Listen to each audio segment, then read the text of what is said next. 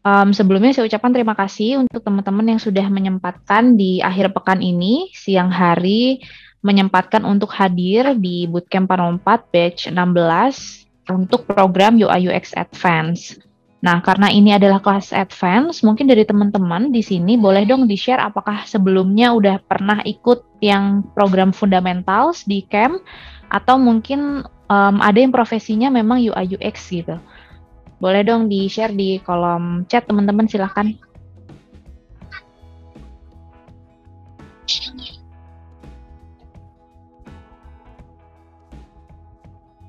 Gimana teman-teman? Apakah sebelumnya udah pernah belajar di bootcamp 404 juga yang fundamental atau mungkin memang profesinya nih di bidang UI UX?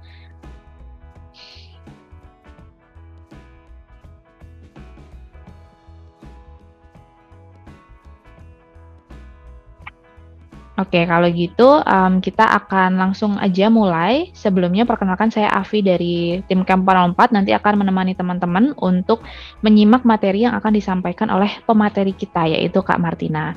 Halo, selamat siang Kak Martina. Halo, apa kabar? Selamat siang Kak Asti. Oke, silahkan Kak Martina. Oke, buat teman-teman yang belum uh, ikutan di Camp 404 yang fundamental ya, uh, saya menyarankan untuk teman-teman bisa ambil batch selanjutnya ya, misalnya kalau ada di uh, Camp 404 karena materi yang ada di advance ini akan uh, berhubungan gitu ya untuk fundamentalnya dan advance-nya. Oke, kita lanjut ke materi yang pertama. Jadi uh, ini akan terbagi jadi dua sesi ya teman-teman. Uh, jadi untuk yang bab satu ini akan lebih mengupas ke bagaimana uh, eh, UI UX itu bekerjanya apa saja gitu ya. Lalu apa saja yang perlu disiapkan untuk menjadi UI UX. Nah, untuk yang bab dua nanti teman-teman akan uh, implementasi ke uh, perlengkapannya, istilahnya membuat portofolio seperti itu. Oke, kita lanjut ya. Nah, seperti yang saya katakan tadi ya, jadi tujuan untuk advance ini akan uh, supaya teman-teman mengetahui bagaimana karir di dunia UI UX itu seperti apa, harus melakukan seperti apa gitu ya. Dan yang perlu disiapkan nih apa saja sih gitu ya. Nah, apa saja yang dilakukan oleh seorang UI UX. Nah, ini teman-teman kalau ingin switch karir ke dunia UI UX bisa lebih memperhatikan ini ya. Karena uh, sebagai seorang UI UX kita nggak hanya mendesain saja, tetapi juga perlu memahami tahapan dan metode yang akan kita gunakan. Nah, salah satunya yang pertama ini ada understanding ya. Jadi untuk uh, memahami suatu permasalahan ataupun requirement yang nantinya akan diberikan oleh uh, dari PO ataupun dari tim lain ya untuk kita mulai mendesain gitu. Nah, di sini ada tahapan uh, kualitatif untuk mendapatkan ini ya hasil datanya bisa kualitatif, kuantitatif, holistic view dan business view-nya seperti apa. Nah, dari hasil-hasil tersebut kita bisa menggunakan metode uh, user interview kalau uh, kalian pernah tahu ya. Jadi untuk mendapatkan data dari user kita bisa menginterview se menginterview user kita. Misalnya uh, end user kita adalah seorang ojek gitu ya untuk membuat uh, sebuah ojek online. Nah, itu kita bisa interview gitu. Tapi kalau kita nggak bisa interview, ya kita bisa pakai metode-metode yang lainnya. Jadi ini metodenya tergantung kondisi uh, di tempat ya, seperti apa. Jadi nggak harus kita gunakan semuanya. Nah untuk yang kedua ada user feedback dan fokus group discussion. Nah itu bisa teman-teman ambil dari uh, feedback dari user ya. Biasanya uh, bisa dari customer service biasanya itu kan ada feedback atau keluhan nah itu bisa kalian ambil lalu juga memakai metode empathy map dan lain sebagainya Dan kedua ada kuantitatif nih teman-teman. Jadi datanya berupa uh, kuantitatif ya, yang bisa dihitung. Nah kalau yang kualitatif yang datanya berdasarkan uh, biasanya perihal apa ya, tidak bisa dihitung lah untuk datanya. Nah kuantitatif ini kita bisa menyebarkan survei, lalu bisa mengambil uh, report dari seorang data analis juga bisa ataupun marketing analis dari uh, web atau yang sudah kita punya ya. Misalnya kita punya web nih dan bagaimana sih uh, analisis dari web yang sudah kita buat sebelumnya itu uh, kita bisa minta reportnya dari marketing analis ataupun data analis report jika ada ya di sebuah perusahaan. Kalau uh, tidak ada bisa memakai metode lainnya. Lalu ada holistic view. Nah, di sini uh, digunakan untuk uh, mengetahui journey map dari consumer kita dan ekosistemnya seperti apa ya. Lalu ada business view. Nah, ini untuk teman-teman bisa memakai metode stakeholder interview. Jadi kita menginterview stakeholder uh, supaya kita mengetahui nih pandangan dari sisi bisnisnya seperti apa, terus uh, service-service yang ada di perusahaan tersebut, uh, service blueprintnya seperti apa, seperti itu. Lalu yang kedua ada tahapan define.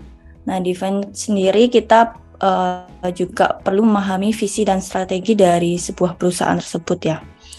Uh, sebenarnya ini tidak terlalu utama ya sebagai utamanya, tapi uh, sebagai seorang UI UX kita perlu mengetahui uh, visi dan strategi dari perusahaan kita.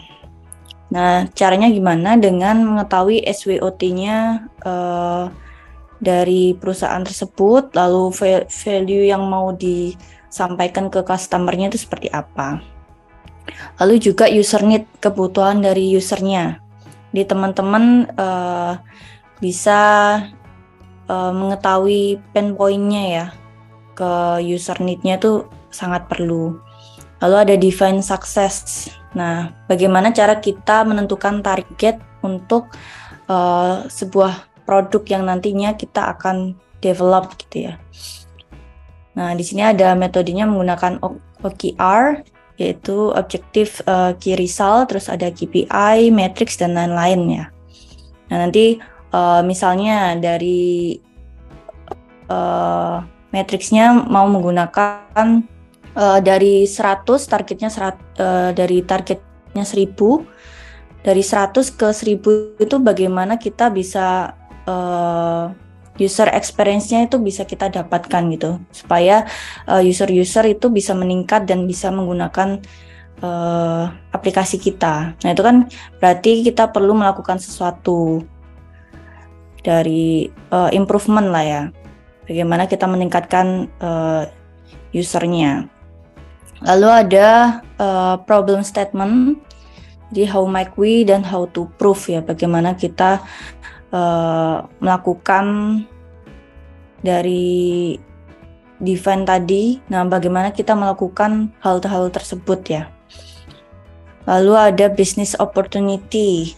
Nah, di sini uh, biasanya dilakukan oleh tim bisnis ya ataupun yang lain untuk uh, kita mengaudit kompetitif uh, dari kompetitor kita. Lalu produk goals-nya itu apa saja itu. Nah, selanjutnya ada idea. Nah, idea di sini kita melakukan brainstorming. Di brainstorming ini ada salah ada beberapa yang telah kita lakukan ya sebelumnya di fundamental. Kalau buat teman-teman yang belum uh, mengikuti program fundamental UI UX fundamental bisa mengikuti debat selanjutnya ya. Jadi di sini akan dikupas uh, lebih detail lagi di fundamentalnya. Nah untuk sekarang kita hanya uh, perlu tahu permukaannya apa saja ya. Jadi metode yang kemungkinan kita akan pakai jika kita maka apa jika kita menjadi seorang UI UX gitu. Metodenya ada Crazy Egg. Nah, Crazy Egg ini untuk eksplorasi kita uh, mensketsa sebuah layout ya, bagaimana uh, menemukan hal unik ataupun uh, ide yang lebih baik dari sketsa-sketsa sebelumnya. Lalu juga bisa menggunakan sketsa, uh, define themes, terus dan solution idea. Nah ini metodenya. Selanjutnya ada prioritization. Nah, ini bisa menggunakan metode effort and value. Jadi dibuat diagram seperti itu ya. Uh, di fundamental ini juga dijelaskan. Jadi kita membuat diagram uh, berdasarkan effort dan value dari fitur tersebut ya. Misalnya kita mau membuat uh, membuat fitur A gitu ya. Nah, fitur A ini akan uh, harus kita lakukan secepatnya atau uh, nanti saja gitu ya atau MVP ke yang terakhir. Nah, itu bisa disesuaikan dengan effort effort uh, membuat fitur A itu apakah lebih tinggi ataupun hanya rendah sesuai dengan value-nya. Kalau value-nya tinggi, uh, effortnya rendah, nah itu bisa kalian lakukan secepatnya. Seperti itu. Nah, ini teman-teman uh, untuk tim UI designer ya biasanya. Ini bisa waktunya eksekusi. Di execute ini uh, perlu memahami prinsipalnya desain dulu, gitu ya. Terus uh, flow-nya, guidelines-nya, visual design, konten dan uh, cara menghandover uh, sebuah desain tersebut. Nah, yang pertama ada prinsipal. Nah, teman-teman bisa uh, belajar ya untuk law of UX-nya dan desain konsistensinya. Nah, untuk uh, belajar ini bisa di web law of UX ya, itu biasanya ada macam-macam uh, law law of UX-nya. Dan uh, kalian juga harus uh, membuat desain yang konsistensi. Bagaimana kita menerapkannya. Nah, itu nanti bisa memakai guideline ini itu ya jadi antar antar desainer biasanya kan desainnya berbeda-beda ya. Nah cara untuk kita mengkonsistensikan desain tersebut bagaimana? Lalu ada flow. Untuk pembuatan flow kalian bisa menggunakan user flow ataupun jika kebutuhannya membutuhkan information architecture juga uh, bisa buat saja gitu ya. Misalnya memang uh, dari tim engineer membutuhkan information AI-nya ya untuk membuatkan arsitekturnya. Ataupun hanya butuh flow aja jadi kita bisa menggunakan tag flow ataupun workflow juga bisa. Nah ini juga kita sempat uh, jelaskan di UI UX fundamental. Lalu yang ketiga ada guidelines untuk ini ya untuk desain uh, konsistennya gimana. Kita bisa menggunakan uh, toolkit and library di fitur yang ada di Figma gitu ya jadi kita bisa masukkan ke library-nya Figma di sebuah file dan juga uh, branding dari sebuah perusahaan itu apakah guideline-nya udah sama dengan marketing gitu ya. Biasanya uh, antara tim UI UX dan tim marketing tuh butuh diskusi untuk menentukan branding yang uh, sesuai. Jadi di aplikasi dan di sosial media itu sama gitu brandingnya ya. Jadi tersampaikan ke usernya. Lalu ada UI komponen dan desain sistem. Nah, kalau desain sistem biasanya uh, yang sudah terintegrasi dengan tim engineer ya. Jadi perlu diskusi juga, berkomunikasi juga ke tim engineer. Jadi desain yang kita buat kayak komponen-komponen kecil-kecilnya itu ya, jadi kayak atomnya uh, seperti button, terus header, terus input field dan lain-lain itu sudah terintegrasi ke kode gitu ya. Jadi si siapa si engineer bisa langsung uh, paham gitu desain sistem antara desain dan uh, di sistem itu sudah sama. Tuh. Lalu ada visual design. Nah, visual design yang biasanya kita ketahui ada sketsa, wireframe, dan prototype. Jadi ada uh, low fidelity-nya ya, yaitu wireframe, terus ada prototype yang biasanya kita bisa udah klik-klik gitu ya, high fidelity-nya. Itu. Lalu ada konten. Nah, ini berhubungan dengan copywriting dan aset atau uh, gambar ya biasanya. Lalu juga ada handover. Nah, cara kita melakukan handover ke engineer. Jadi handover ini uh, sebuah proses dari desainer sudah buat prototype gitu ya. Dan sudah fix, uh, sudah kita validasi. Nah, kita perlu uh, komunikasikan ke engineer-nya. Nah, itu bisa menggunakan berbagai ini ya. Apa berbagai biasanya tuh, tuh pakai apa ya biasanya itu yang di Zeppelin ya. Kalau biasanya uh, handover ke engineer tuh. Ataupun langsung pakai Figma pun kadang ada ada yang juga langsung pakai Figma juga bisa. Tuh tergantung dari kondisi perusahaannya seperti apa ya.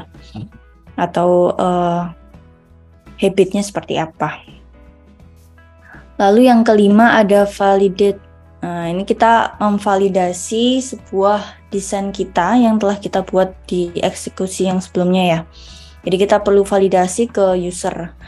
Nah, ini ada kuantitatif dan kualitatif lagi ya. Di kuantitatif kita bisa menghitung dari uh, berapa banyak user yang lolos di desain tersebut ya. Artinya uh, user tersebut sudah mencapai goal yang kita targetkan di OKR ataupun KPI-nya.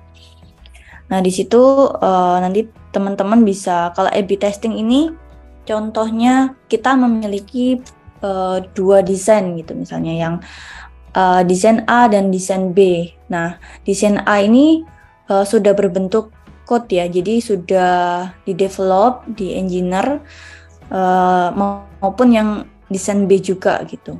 Nah, kita lempar ke 100 uh, 100 user. Misalnya yang A ini dilempar ke 50 user, yang B ke 50 user.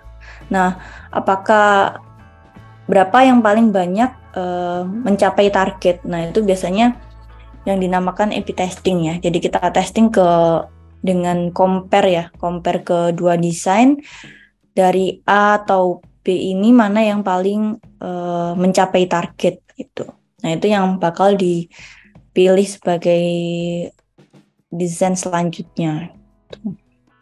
Lalu ada kuantitatif survei. Nah, ini bisa menggunakan survei ya dalam uh, apa namanya? membuat desain. Nah, kita lempar sebagai ke usernya sebagai survei ya. Secara, pakai survei gitu lalu juga NPS. NPS ini biasanya uh, yang kita biasa temukan di akhir goals, misalnya transaksi ya. Uh, contohnya di apa ya? Di mobile banking mungkin ya. Uh, ada sebuah brand gitu ya. Kita sudah mentransfer uang, nah biasanya kan uh, ada reviewnya bag, bagaimana transaksinya gitu kan. Nah, kita ada lima bintang gitu. Nah, itu namanya NPS biasanya. Jadi kita menilai bagaimana uh, feel dari desain tersebut tuh. Puas atau tidaknya. Nah, gitu. Biasanya dilakukan uh, secara langsung setelah uh, melakukan transaksi. Lalu ada kualitatif. Uh, kualitatif ini uh, bisa menggunakan user testing uh, ataupun interview ya user user testing ini biasanya interview. Jadi kita uh, benar-benar ngeliat prototipe kita itu apakah sesuai dengan yang diinginkan user uh, mereka paham atau tidak gitu ya. Nah itu kita bisa lihat di user testing. Lalu juga pakai use uh, heuristic analysis ataupun user feedback dan pilot user test dan lain-lain ya metodenya. Oke, nah dari banyaknya metode tadi ya yang kita, yang sudah kita pelajari. Sebenarnya yang uh, yang terberat itu bukan menerapkan metode researchnya ya, tapi uh, bagaimana cara kita bekerja sama dan berkomunikasi terhadap internal stakeholder kita gitu ya, yang berada di perusahaan tersebut mengenai pentingnya UX dan menciptakan ekosistem yang user centric dan menumbuhkan uh, budaya yang baik dalam mendesain sebuah produk gitu serta memastikan uh, mereka tuh sepakat dan mendukung kita dan berpartisipasi dalam proses uh, desainnya. Kenapa? Kenapa kita lebih susahnya dalam berkomunikasi gitu ya? Karena tidak semua perusahaan uh, memahami pentingnya UX tersebut gitu ya. Misalnya contoh-contoh kecilnya uh, dalam internal tersebut uh, eh, UX tersebut tim UX gitu ya dianggap uh, hanya mendesain saja ya padahal padahal di yang kita pelajari tadi itu ya kita kan perlu uh, mendefine problemnya terus uh, understanding gitu ya. Masih ada tahap-tahap sebelum kita eksekusi. Nah itu uh, bagaimana kita mengedukasi uh, internal stakeholdernya gitu. Benar-benar mengetahui uh, proses desainnya itu seperti apa gitu. Nggak hanya langsung kita sketsa langsung uh, jadi prototype gitu kan nggak kan. Mungkin kita diberi waktu cuma dua minggu untuk mendesain. Nah itu padahal nggak cukup ya untuk uh, sebuah produk yang mungkin alurnya yang panjang gitu. Nah kita perlu edukasi juga uh, berkomunikasi ke internal stakeholdernya terutama ya supaya uh, memahami apa saja yang diperlukan sebelum mendesain tuh perlu apa aja gitu ya uh, perlu melakukan metode ini riset ini atau dan lain-lain gitu itu yang uh, menurut saya uh, belum banyak diketahui oleh beberapa internal stakeholder gitu. Oke, nah ini ada skema tangga karir di UI UX ya. Jadi ada ada dua. Ini menurut Atlassian ya. Jadi ada dua karir pet. Yang di kiri ini craft leadership dan yang kedua ini ada people leadership. Nah, ini bedanya apa? Kalau di jenjang karir yang di craft leadership biasanya dimulai dari uh, junior designer ya, yang biasanya kita ketahui uh, pertama kali masuk, terus designer, lalu senior designer, dan lead designer dan principal designer. Nah beda-beda uh, beda levelnya ini apa saja? Kalau sudah uh, junior designer biasanya kita uh, taksnya lebih tidak terlalu dalam ya. Biasanya hanya UI-nya saja gitu ya, hanya sketch-nya saja gitu tergantung dari perusahaan tersebut juga. Nah, kalau desainer biasanya sudah mulai uh, satu alur nih, satu alur dikerjakan, terus uh, mulai juga bantu riset tuh ya. Nah, sedangkan kalau senior designer nanti sudah mulai apa ya, memberikan task ke junior desainernya, terus uh, juga biasanya juga berbagai uh, beda-beda aplikasi ya. Jadi kita merangkap gitu uh, dari aplikasi A ke B. Nah itu bagaimana kita uh, bagaimana kita menyelesaikannya dan membagi tugas ke desainer lain. Lalu ada lead designer. Nah di sini biasanya yang melakukan report gitu ya ke dari senior designer report ke lead designer untuk uh, berbagai aplikasi juga. Misalnya ada banyak aplikasi, nah bagaimana perkembangannya, terus uh, mungkin juga report ke yang CTO atau yang lainnya ya. Itu juga tergantung dari perusahaannya seperti itu. Nah, untuk principal designer ini bertanggung jawab untuk dari apa ya dari komponen-komponennya biasanya. Nah ini yang biasanya paling tinggi untuk uh, untuk biasanya desainer itu kan uh, membangun desain sistem ya. Nah ini biasanya prinsipal desainer juga uh, membantu di hal ini gitu ya. Jadi untuk membuat atomiknya dan lain-lain gitu. Untuk teman-teman uh, desainer desainer lain tuh pakai gitu kalau sudah memang posisinya udah tinggi banget ya. Jadi bagaimana uh, benar-benar konsisten lah. Konsistensi dalam desain itu benar-benar dipertanggungjawabkan di sini. Lalu ada people leadership. Nah ini lebih ke uh, membangun timnya ya. Ada desain team lead, ada desain manager, head of design group, dan head of design. Nah, ini biasanya untuk yang memang sudah besar ya, untuk uh, perusahaan besar biasanya lebih ke timnya karena semakin banyak tim, nah itu diperlukan jenjang karir yang lebih tinggi lagi. Gitu. Nah, ini untuk tahapan berkarir menjadi UI UX designer itu membutuhkan apa saja? Nah, yang pertama ada memperdalam skill ya ya ini dari crafting hingga desain prosesnya yang perlu teman-teman uh, perdalam ya. Dan terus improve uh, skillnya lalu membuat CV nah biasanya kan membuat CV uh, eh, ini memang umum ya. Kalau kita melamar sebuah pekerjaan pasti kita perlu CV lalu yang ketiga ada membuat portofolio. Nah nanti di bab 2 ya kita bakal membuat portofolio UI UX gitu. Lalu ada ya, apply-nya lah ya. Kalau kita sudah mempersiapkan senjata kita, nah tinggal apply ke uh, berbagai karir yang di UI UX ya. Nah, selanjutnya ini isi-isi uh, isi -isi dari CV ya. Kalau bisa dalam membuat CV di UI UX uh, eh, lebih clear dan jujur gitu ya dalam mencantumkan data-datanya.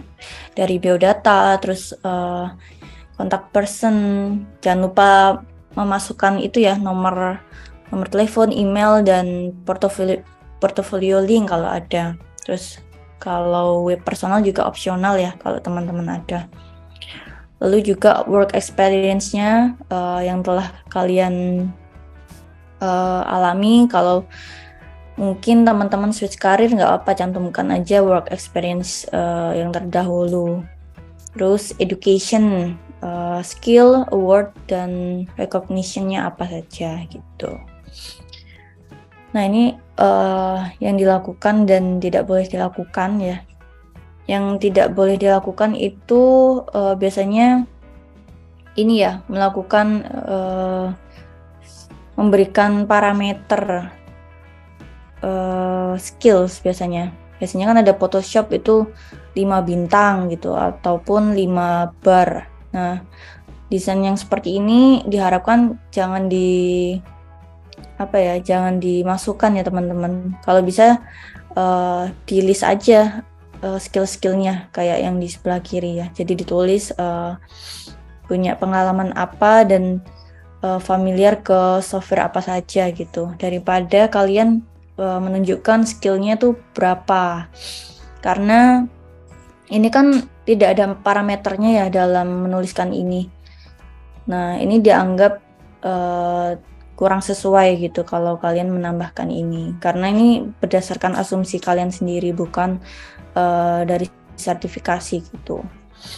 Jadi hanya di list saja ya kalau teman-teman uh, memasukkan CV itu untuk skill. Jadi ada ini, ini contohnya dari Fan ya, dia product designer di Google.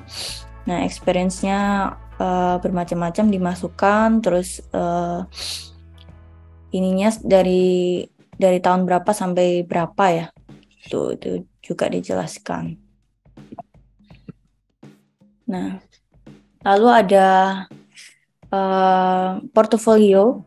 Portofolio ini adalah kumpulan dari karya kalian lalu kalian ceritakan proses uh, user experience-nya seperti apa, lalu kalian bagikan untuk menggait klien dan melamar pekerjaan ataupun uh, kalian kalau freelance juga bisa kalian bagikan ke uh, para klien kalian ya. Jadi yang tertarik dengan jasa desainer kalian gitu. Kenapa harus punya portofolio gitu ya? Sedangkan kalau uh, jurusan lain mungkin tidak perlu ya. Nah, di sini kalian untuk dapat menunjukkan gitu karya yang sudah kalian buat terhadap uh, pembuatan produk dan lain-lain sebagainya ya. Khususnya di UI UX kalau kalian ada experience gitu. Lalu menceritakan uh, proses berpikir kalian tuh seperti apa gitu. Gak hanya langsung mendesain tapi ada alasan dari dalam mendesain hal tersebut gitu. Terus uh, cara kalian mengambil keputusan dan solve the problemsnya ya. Lalu yang ketiga ada portfolio itu bukan hanya showcase, jadi nggak hanya uh, tampilan karya aja, tapi uh, memang mendemonstrasikan skill kalian itu seperti apa. Nah ini ada kata-kata ya jalan utama untuk menampilkan potensi potensi terbaik itu adalah melalui portofolio. Portofolio harus dirancang sebaik mungkin hingga tidak lagi kita gunakan untuk mencari pekerjaan tapi malah mendatangkan pekerjaan itu. Nah, semakin banyak portofolio yang kalian bangun, nah itu semakin baik. Jadi untuk menggait menggait klien tuh tinggal pasti nanti uh, dihubungi tinggal dihubungi gitu. Misalnya kalian membagikannya di LinkedIn gitu. Yang banyak kan LinkedIn ya. Ataupun uh, Dribble juga bisa untuk UI UX lalu uh, yang perlu kalian pahami uh, kalian perlu memahami skill apa yang paling kalian kuasai nah kalau di sini uh, kalau kalian memang bagusnya di UI gitu ya, di crafting design ataupun di resource-nya, nah itu kalian harus uh, pisahkan gitu ya. Yang perlu kalian pahami juga. Dan aktivitas, aktivitas mana yang paling kalian suka, risetnya ataupun uh, mendesainnya ataupun dua-duanya juga boleh. Lalu apa yang menjadi pembeda dari kalian dengan desainer lainnya. Nah, itu pertanyaan untuk personal ya. Terus project mana yang memberikan uh, kalian banyak pelajaran dalam prosesnya. Misalnya kalian punya 10 project nih. Tapi yang paling diunggulkan tuh yang mana sih? Nah, itu kalian bisa taruh di urutan pertama ya di portofolio. Lalu ada project mana yang paling kalian uh, yang paling membuat kalian bernilai ataupun uh, cerita dari project tersebut tuh yang menarik tuh yang bagian mana. Nah, itu bisa kalian ceritakan di portofolio kalian. Jadi kalau kalian mau apply uh, eh, UI designer, nah itu perbanyak contoh visualnya gitu. Sedangkan kalau kalian ingin uh, posisi UX designer, nah kalian perbanyak uh, prosesnya, bagaimana kalian mendevelop uh, mendevelop atau mendesain sebuah produk. Kalau kalian ingin jadi UX designer, nah itu kan biasanya ada ya direction. Nah itu kalian perbanyak uh, contoh-contoh prototipenya ataupun research. Nah itu biasanya perbanyak metode dan report seperti itu. Jadi teman-teman sesuaikan dengan apa yang mau di-apply kalau kalian mau apply UI UX nah biasanya itu kan kedua ya. Berarti ada visual ada proses. Jadi kalian masukkan portofolio kalian visual dan prosesnya. Gitu. Nah gimana kak kalau uh, kita nggak belum punya project case study nih? Nah ini ada beberapa ada lima contoh lah ya yang bisa kalian uh, coba yang pertama ada side job, jadi kita buka uh, jasa ke ke temen ataupun temen yang punya bisnis ya ataupun keluarga yang punya bisnis tuh. Nah kalian bisa tawari uh, jasa kalian untuk membuat desain webnya ataupun aplikasinya kalau ada ya kalian bisa freelance juga ke berbagai web yaitu ada beberapa web freelance nah kalian bisa coba di sana tapi kalau yang paling mudah mungkin ke teman atau saudara ya yang punya bisnis nah kalian coba bantu untuk uh, bikin websitenya Halo, masih masuk ya suaraku ya? Iya, jelas Kak Martina. Takutnya kepotong nanti. Nanti langsung di chat aja mungkin. Nah, yang ke jadi itu ya tadi ya, side job ya. Jadi kalian buka jasa ke bisnis atau ke teman atau saudara kalian yang punya bisnis terus kalian tawarkan secara gratis dulu nggak apa-apa kan kita buat uh, uji coba ya untuk membuat membangun portofolio lah setidaknya lalu ada personal site atau web personal nah nanti kalian bisa buat nih uh, di bab 2 nanti ada web personal jadi kita buat uh, personal site nah itu bisa kalian juga uh, coding juga ya kalau misalnya memang mau menjadi web sebenarnya di Figma saja sudah cukup untuk uh, apa sebuah portofolio ya.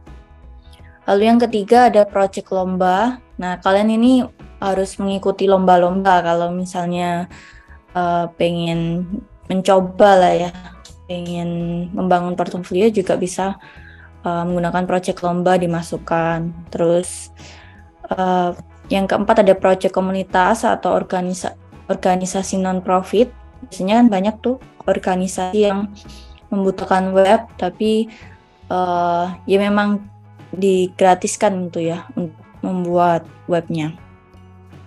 Terus yang kelima ada redesign aplikasi. Nah ini uh, mungkin yang paling terakhir lah ya idenya. Jadi kalian meredesain sebuah aplikasi, contoh dari aplikasi yang ada di Play Store, terus kalian redesign ulang untuk uh, mendapatkan mendapatkan portofolio nantinya. Itu. Jadi kalian terangkan kenapa kalian meredesain itu, apa alasannya, terus uh, problemsnya apa saja, poinnya apa saja gitu kalian jelaskan. Oke, dari sini uh, mungkin nanti kita akan next di sesi yang kedua ya, mungkin besok ya, untuk uh, membuat portofolio online gitu challenge-nya. Oke, dari sini mungkin ada pertanyaan teman-teman. Oke. Ya, jadi untuk teman-teman yang ingin bertanya atau berdiskusi atau mungkin sharing-sharing juga bisa melalui fitur Q&A ya, teman-teman. Silakan langsung diketikkan uh, pertanyaannya. Nanti akan langsung dijawab nih sama Kak Martina. Yeah. Rekan teman-teman, uh, mumpung kita masih ada waktu ya, bisa langsung ditanyakan. Mungkin dari pengalaman teman-teman, uh, mungkin udah pernah buat portofolio gitu, ataupun memang belum atau masih bingung untuk membuat portofolio, bisa di tanyakan juga. Gitu.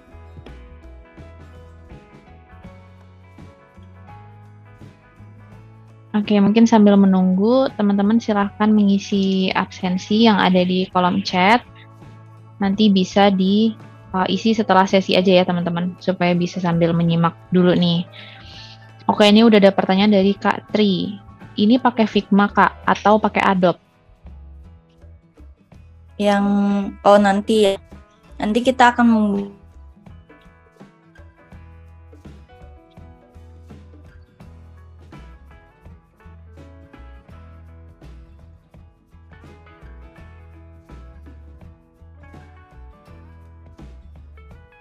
Oke, sepertinya um, ada kendala koneksi ya teman-teman. Saya coba untuk um, hubungi dulu nih ke Martinanya.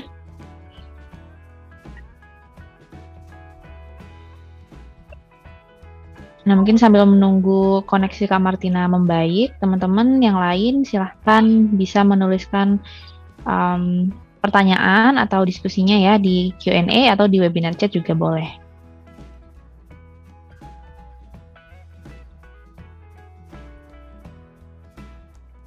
Oke, sambil kita tunggu, um, untuk absensinya nanti bisa diklik dulu atau mungkin di copy. Jadi teman-teman nanti setelah sesi bisa mengisi.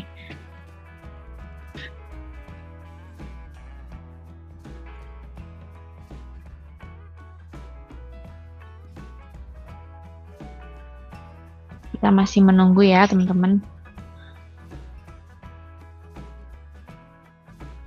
Halo Kak Martina. Gimana? Oke, tadi uh, langsung terputus saat pertanyaan pertama. Mungkin kita ulang ya Kak ya. Untuk portfolionya nanti pakai Figma atau Adobe kata Kak Tri. Oke, nanti kita pakai Figma ya teman-teman supaya uh, lebih advance aja gitu kalau pakai Figma itu. Karena kalau kita pakai Adobe setahu saya itu banyak crash-nya ya. Jadi untuk menghindari itu lebih prefer kita menggunakan Figma gitu. Oke. Selanjutnya ini pertanyaan dari Q&A ya. Dari Kak Zendi Ari. Susunan portfolio yang baik itu seperti apa ya agar kita mudah di-hire oleh company? Oke, kalau susunan ya biasanya bisa pakai ini mungkin bakal dijelasin di bab 2 ya sebenarnya. Ada susunannya nanti bakal kita bahas di bab 2 jadi besok. Tapi mungkin aku spill sedikit. Sebentar ya.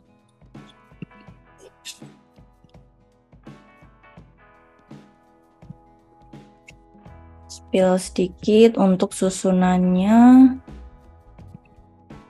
yang di bab 2.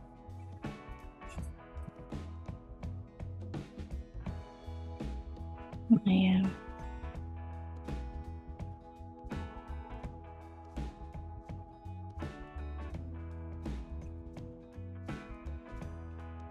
Nah, sebentar ya. Jadi teman-teman untuk membuat portofolio, kalau kalian mau apply UI UX, nah biasanya kan kita membutuhkan uh, study case ya. Nah, ini contohnya. Udah kelihatan ya? Ya, sudah nih nah, ini kelihatan. Oke. Okay. Thank you. Nah, ini ada beberapa yang perlu kalian pahami ya untuk membuat studi case. Nah, itu ada judul pastinya, ada background, uh, challenge-nya yang kalian uh, tantangan dalam membuat fitur tersebut atau produk tersebut itu apa, lalu lama pembuatannya, tools yang digunakan, terus role dalam tim tersebut ataupun kalau kalian nggak punya tim uh, mungkin nggak perlu dijelaskan ya apa nggak perlu dimasukkan. Kalau belum punya tim juga nggak apa-apa kalau mau dimasukkan sebagai UI UX gitu ya. Nah terus masukkan desain prosesnya itu nah teman-teman ini uh, perlu improve ya untuk desain prosesnya, ceritakan uh, proses dalam membuatannya. Kan kalian nggak langsung uh, mendesain gitu ya, pasti uh, ceritakan kenapa alasan membuat ini. Nah, pain pointnya apa yang dirasakan user gitu. Nah, kalian terapkan metode-metode uh, dari yang tadi kita pernah jelaskan ya, yang yang tadi kita masukkan ke dalam teori.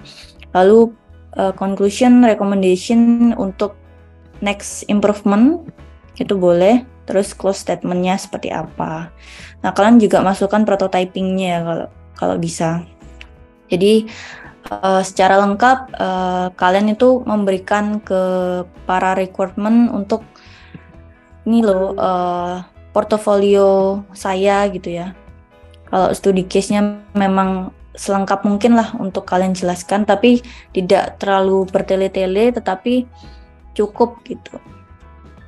Jadi ada desainnya juga. Nah ini bakal kita jelaskan di bab besok ya. Itu itu sedikit aja ya untuk Iya, oke. Jadi untuk Kak Zendi maupun teman-teman yang lain jangan lewatkan sesi besok ya um, di bab 2 nanti akan langsung didemokan dan diberikan contoh yang komprehensif nih sama Kak Martina bagaimana portfolio yang baik gitu. Kemudian pertanyaan selanjutnya dari Kak Arif. Kak, kalau berdasarkan kesulitan, lebih kompleks yang mana sih prosesnya antara UI designer atau UX designer? Atau UX researcher dan UX writer? Hmm, oke. Okay. Nah, kalau berdasarkan kompleksnya ya, uh, ini tergantung skill juga ya. Karena mungkin kalau uh, saya sebagai UI UX ya, jujur yang paling susah itu yang kompleks itu UX uh, eh, tahapan researchnya ya. Untuk kita uh, membuat alur, terus kita memahami sebuah permasalahan atau proses uh, dari requirement yang dikasihkan ke kita gitu ya. Uh, jujur yang lebih susah ke risetnya sebenarnya. Nah kalau untuk pembagiannya kayak UX writer terus uh, yang di luar itu ya mungkin saya kurang memahami kesulitannya seperti apa karena uh, beda-beda ya skill setiap orang mungkin ada yang memang go bahasanya ya uh, jago dalam uh, bahasanya bisa jadi UX writer gitu ataupun mungkin dia jagonya dalam desain. Nah, kalian bisa pakai uh, eh, UI designer aja gitu, apply sebagai UI designer. Nah, kalau kalian memang sukanya ke uh, report atau berhubungan dengan data, terus uh, datanya lebih ke UX research, nah itu kalian bisa apply ke sana. Ataupun kalian pengen aku jago dua-duanya. Nah, itu bisa apply ke UI UX ataupun memang yang lebih umum di karir itu ya UI UX ya. Jadi memang role-nya digabung gitu untuk uh, kebanyakan demandnya seperti itu. Mungkin kalau yang terpisah-pisah seperti itu uh, ada tapi tidak terlalu banyak ya untuk saat ini. Tuh. Jadi tergantung skillnya teman-teman gitu. Kalau menurutku, kalau dari sisiku uh, lebih kompleksan yang bagian researchnya, karena kita perlu memahami dan apa sih alasan yang uh, pas untuk kita membuat desain yang seperti itu gitu. Itu. Oke, semoga menjawab ya Kak Arief. Selanjutnya ini dari Q&A Kak Ferry Cahyono. Kak, portfolio kalau karyanya itu berupa video atau gambar, itu seperti apa ya Kak desainnya? Video atau gambar? Oke, mungkin juga ada yang uh, memberikan porto apa nggak memberikan proto prototipenya ya, jadi langsung video itu juga bisa tapi mungkin uh, bisa dimasukkan ke dalam web ya kalau itu. Nah ini aku jarang nih pakai yang video kalau video untuk ke portofolio. Tapi ada beberapa beberapa misalnya kalau di dribble ya kalau teman-teman tahu dribble itu tempatnya memang uh, buat showcase uh, desain-desain itu juga ada yang video. Tapi itu kalau kita upload video biasanya uh, berbayar gitu. Nah itu juga perlu kalian pahami aja. Bisa pakai tools lain mungkin ya untuk mungkin sebar ke LinkedIn itu biasanya kan LinkedIn juga bisa sebar video ya. Terus kalian uh, linknya juga dimasukkan ke dalam website. Nanti kalian juga uh, digabungkan dengan portofolio portofolio lainnya gitu juga bisa. Jadi uh, banyak ya cara sih bisa dicantumkan linknya terus kita gabung ke dalam Figma gitu kayak yang nanti besok kita akan uh, implementasi ya gitu. Mungkin bisa ditunggu aja buat uh, implementasi besoknya ya supaya lebih tergambar gitu. Oke. Selanjutnya ini pertanyaan dari chat dari Kak Han. Izin bertanya Kak, dalam portfolio skala project dummy uh, lebih banyak dibandingkan real project untuk sementara waktu apakah tidak apa-apa?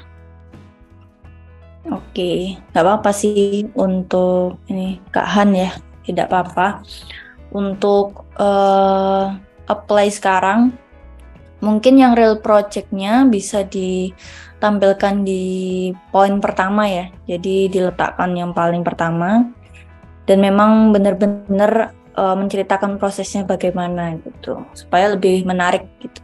Kalau project dummy uh, sebenarnya tidak apa-apa. Tapi lebih baik gitu ya. Lebih baik kalau kalian uh, punya real project gitu. Jadi benar-benar kalian tuh uh, memahami cara kerjanya seperti apa gitu. Nggak hanya asumsi aja ataupun uh, apa ya nggak apa-apa sih untuk belajar uh, real dummy tapi lebih menyarankan untuk real project sebenarnya. Itu. Jadi mungkin yang real project diletakkan uh, di posisi yang lebih awal ya daripada yang project kami gitu sih mungkin. Oke, okay. ya. siap. Um, selanjutnya um, pertanyaan dari Kak Arif Irawan. Cara mencari user untuk di interview itu seperti apa ya Kak? Oke, okay. nah kalau berdasarkan pengalaman ya, karena di sebuah perusahaan itu kan sudah ada usernya masing-masing ya. Ataupun uh, memang user targetnya gitu. Nah itu kita bisa langsung uh, nggak langsung ya tapi mungkin perlu diundang dulu. Mungkin bisa melalui tim bisnis ya. Biasanya tim bisnis yang memang uh, lebih dekat dengan user ya. Nah itu kita bisa undang dulu terus uh, baru kita kasih prototipe dan interview seperti itu biasanya. Ataupun kalau memang uh, usernya tuh memang luas ya. Kalau ojek online ataupun e-commerce itu kan luas ya usernya. Nah itu bisa kalian uh, random user itu juga boleh tergantung dengan uh, apakah sudah sesuai syaratnya. Misalnya syaratnya uh, targetnya dari umur 17 tahun sampai 30. Nah, itu bisa gitu. Jadi menyesuaikan dengan uh, study case-nya seperti apa. Kalau memang diperuntukkan oleh umur sekian sampai sekian, nah itu uh, kalau bisa yang yang bisa dijangkau lah ya kalau kalian bingung gitu. Nah, semisal kalau carinya susah kak gitu. Nah itu itu yang memang uh, challenge-nya ya, memang mencari user kalau memang apa ya produknya terlalu sedikit untuk usernya, nah itu juga yang susah sebenarnya. Ya, kalian perlu memang harus mencari gitu ya untuk sesuai dengan requirement-nya. Gitu. Jadi kita biasanya ada yang uh, survei dulu, survei ke beberapa orang, terus uh, apakah mereka mengiyakan ingin diinterview ke uh, next step gitu ya. Nah itu juga bisa dengan cara apa memberikan survei, terus kalau dia mau diinterview, nah itu bakal dihubungi dan diundang gitu. Itu ya untuk tahap-tahapannya. Jadi tergantung dari kondisi itu Oke, okay, terima next. kasih. Uh, mungkin ini pertanyaan-pertanyaan terkait dengan tata cara belajar di camp. Untuk NIC, teman-teman bisa cek di uh, webnya camp804.com. Nanti kalau login, itu di pojok kanan atas akan ada nama, Kemudian kalau di hover pakai mouse atau pointernya, itu nanti akan muncul NIC atau nomor induk Camp 404-nya. Gitu. Kemudian untuk besok itu jam berapa ya Kak? Besok itu kita di malam atau siang ya Kak Martina? Uh, di jam berapa ya?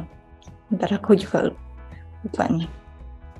Ada opsi di siang hari jam 1 atau mungkin di malam jam setengah 8 sore seperti ini. Mungkin nanti bakal diingetin lagi ya di grup. Ya jadi um, kemungkinan kalau misalkan untuk besok kalau di jadwal itu kan siang ya teman-teman. Jadi kemungkinan siang sore atau malam sih. Nah jadi nanti um, mungkin nanti sore langsung akan dikabari sama admin ya di grup dan juga di blush untuk undangannya Kemudian untuk recording hari ini akan diupload kapan ya? Nah, untuk recordingnya kemungkinan karena untuk upload di YouTube butuh waktu ya teman-teman. Jadi kemungkinan di minggu depan. Tapi nanti mungkin admin akan memberikan referensi dari batch sebelumnya ya, karena mirip-mirip gitu materinya. Oke, lanjut ke pertanyaan dari Kak Han. Boleh kasih tips untuk menentukan frame device mobile yang ideal di tahun 2022 ini, Kak? Size mobile yang ideal ya. Biasanya pakai frame ini sih. Tergantung kalian pakainya iOS ataupun uh, Android ya. Nah, kalau Android bisa pakai frame yang Android di Figma itu udah lengkap ya. Jadi dari frame desktop, terus iPad, uh, Android, iOS dan lain-lainnya itu juga sudah ada. Jadi bisa langsung pakai ya kalau di Figma. Pilih kalau Android, pilih yang Android small. Jadi kalian bisa pakai ukuran yang paling kecilnya Android gitu. Nah kalau pakai iOS uh, biasanya saya pakai yang ini uh, iPhone 10 atau 11 ya itu jadi bisa sesuaikan aja dengan kebutuhan teman-teman itu jadi tergantung misalnya kalian ada di tim udah ada punya tim ya nah mereka mintanya uh, frame yang berapa biasanya kalau yang web itu juga uh, mintanya 1440 ada yang minta uh, 1380 itu juga ada jadi tergantung dari tim engineer juga bisa kalian diskusikan gitu. Oke siap. Um, mungkin sebelum sesinya ditutup dari teman-teman, apakah ada yang ingin ditanyakan?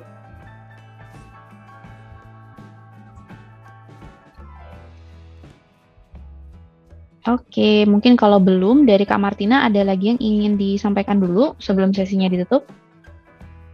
Oke, untuk saat ini mungkin uh, teman-teman perlu asah skillnya ya kalau memang ingin uh, terjun ke dunia UI UX, diasah skillnya, terus uh, buat sebanyak mungkin portofolio kalau bisa ya, yang real gitu ya. Mungkin kalau untuk latihan nggak apa-apa dami, tapi kalau uh, pengen lebih gitu ya, uh, lebih disarankan untuk real project gitu itu aja sih untuk teman-teman. Ya, ini mungkin dari Kak Zendi nih, um, pengen berkenan connect di LinkedIn, Kak Martina. Ya. Nama LinkedIn ya Kak Martina, Martina Desi ya Kak ya? Martina Desi. Jadi teman-teman bisa uh, connect aja di LinkedIn-ku, aku tulis aja. Nih nanti kalau misalnya teman-teman mau minta di follow juga boleh bisa PM aja ya karena kadang banyak itu ya.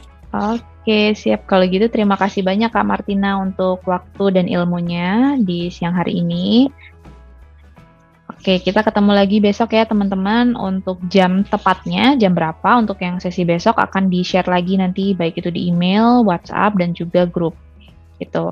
Kalau begitu kita cukupkan dulu untuk sesi siang ini. Terima kasih banyak atas antusiasmenya teman-teman. Tetap semangat belajar. Semoga uh, bisa mengikuti sampai dengan akhir bootcamp dan juga menghasilkan portfolio yang keren.